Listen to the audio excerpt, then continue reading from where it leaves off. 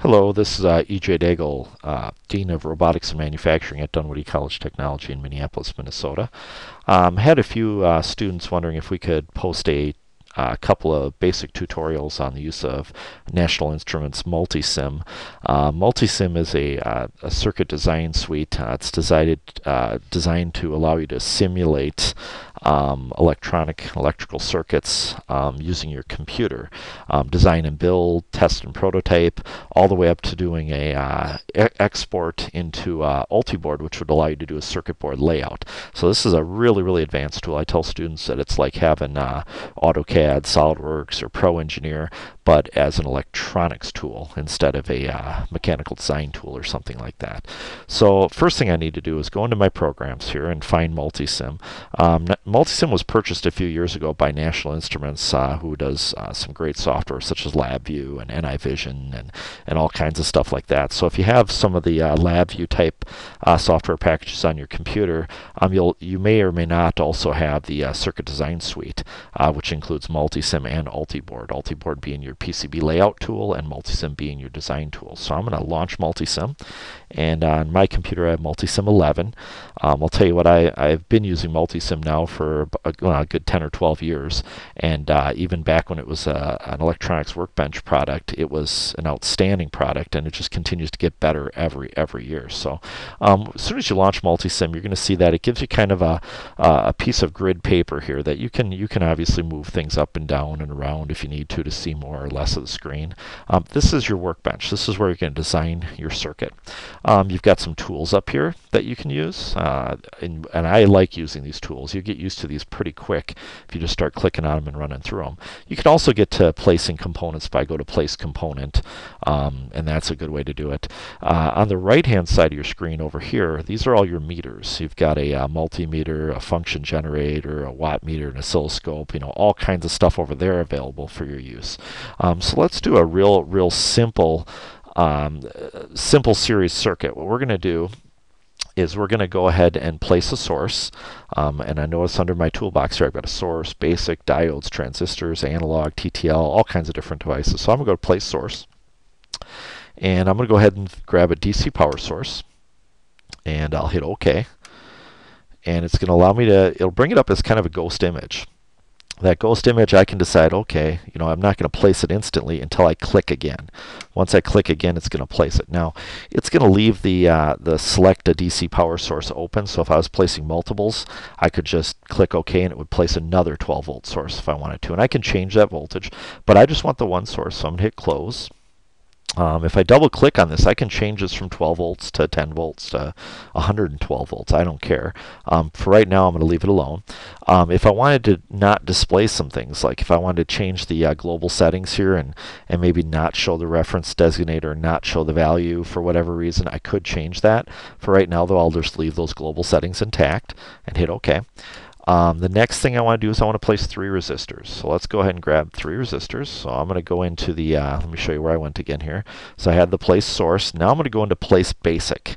Um, that's where all your standard components reside. Your transformers, your relays, connectors, sockets, resistors, capacitors, inductors, so on and so forth. But I want a resistor and I want a 1k ohm resistor. Now, you'll notice that there's several different varieties of 1k. You might say, wow, there's a 1k, there's a 1.0k, a 1.00k. Um, these sometimes will change by tolerance. They'll sometimes change by type.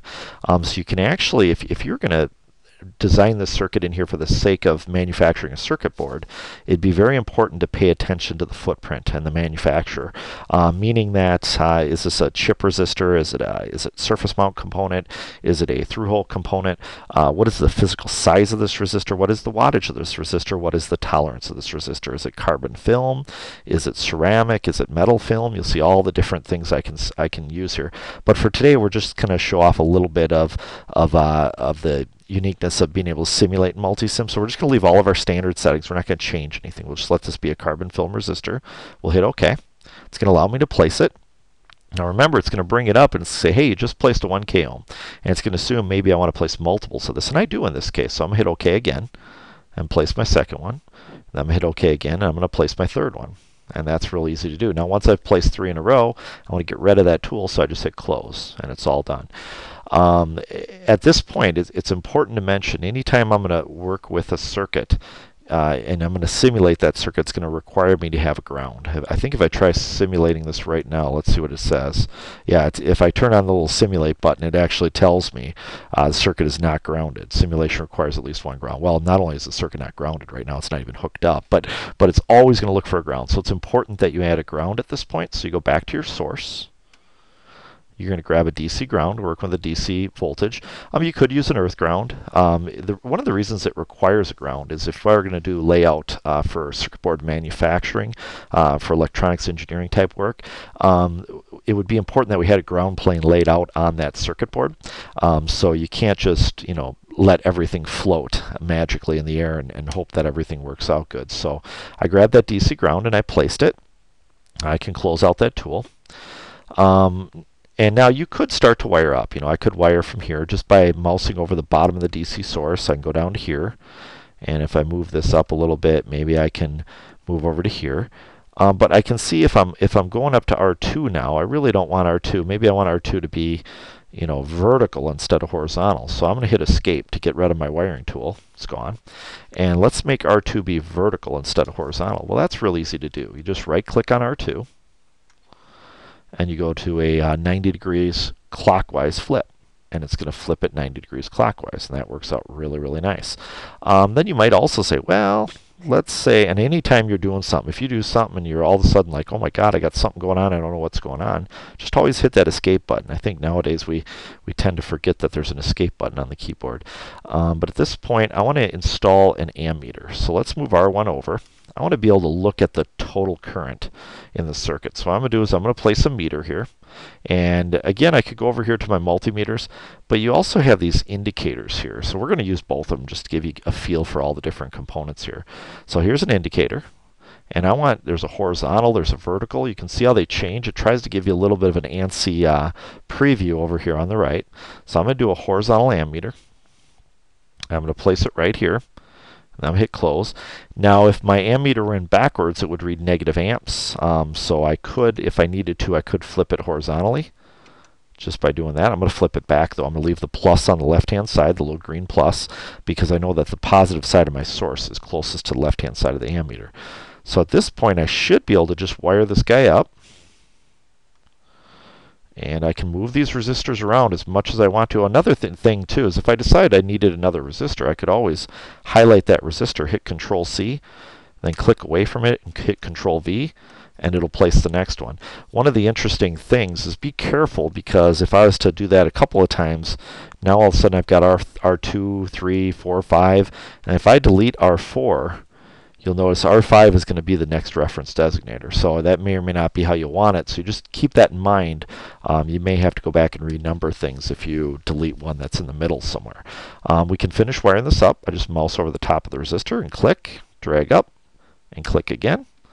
And then I'm going to mouse down here, click, click, and then I want to I want to use uh, my my multimeter here to take a real quick voltage measurement too. I could also go into the into the indicators here. They have a voltmeter in there. Um, that's where I got that ammeter from.